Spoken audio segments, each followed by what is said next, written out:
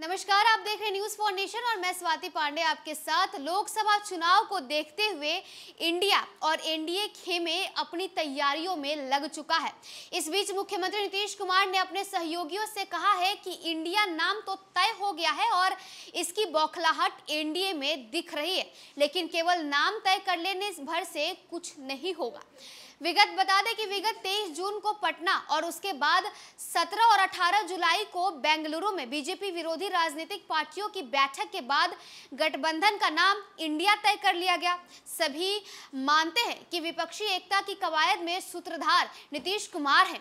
हालाँकि इंडिया बनने के बाद जिस तरह से एनडीए की ओर से प्रतिक्रिया सामने आई, जिस अंदाज में एनडीए खेमा अपने आप को मज़बूत करने में लग गया इंडिया बनने के बाद जिस तरह से एनडीए की ओर से प्रतिक्रिया आई और जिस अंदाज में एनडीए खेमा अपने आप को मज़बूत करने में लग गया, इससे नीतीश कुमार को चिंता भी सताने लगी है। उनका मानना है कि जल्द से जल्द गठबंधन के तमाम सहयोगियों को आपस में ये भी तय कर लेना चाहिए कि कौन कहाँ है और कितनी और किन लोकसभा सीटों पर लड़ेगा।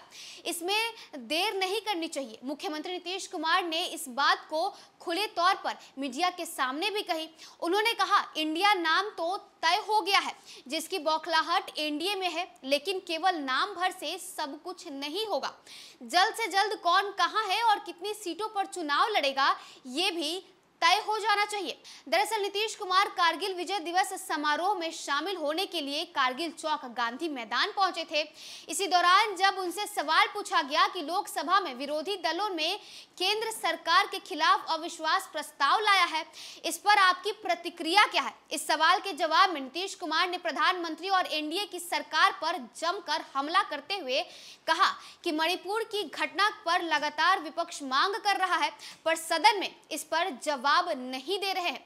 बता दें कि नीतीश कुमार आगे कहते हैं कि प्रधानमंत्री सदन से गायब रह रहे हैं। मणिपुर में हालात कितने खराब है? महिलाओं को किस तरह से बेइज्जत किया जा रहा है? ऐसा कहीं संभव है क्या? प्रधानमंत्री को सदन में इस तरह, इस पर जवाब देना चाहिए, लेकिन वो चुप्पी साध रखे हैं। बोल नहीं रहे हैं। इसलिए विपक्ष अविश्वास प्रस्ताव उनके सरकार के खिलाफ ला रहा है। वहीं इंडिया नाम रखने पर गठबंधन पर प्रधानमंत्री ने हमले, जो जो विपक्ष हमला कर रहा है, उस पर भी नीतीश कुमार जवाब देते हैं। उन्होंने कहा कि प्रधानमंत्री को कितना खतरा हो चुका है, ये सोच लिया जाए। मेरी कोशिश का असर प्रधानमंत्री को अब खतरा लगने लगा है। विपक्षी दलों की एकता का स्वरूप दिख गया है और अब नाम भी सामने आ गया है। विपक्षी दलों से भी मेरी लगातार आग्रह है कि कौन दल कहाँ से लड़ेगा और कौन से लोकसभा सीट से लड़ेगा, ये भी जल्द से जल्द इसका फैसला कर लिया जाए। तो चलिए फ़िलहाल इस खबर में बस इतना ही और भी वीडियोस और अपडेट्स के लिए आप देखते रहे न्यूज़ फॉर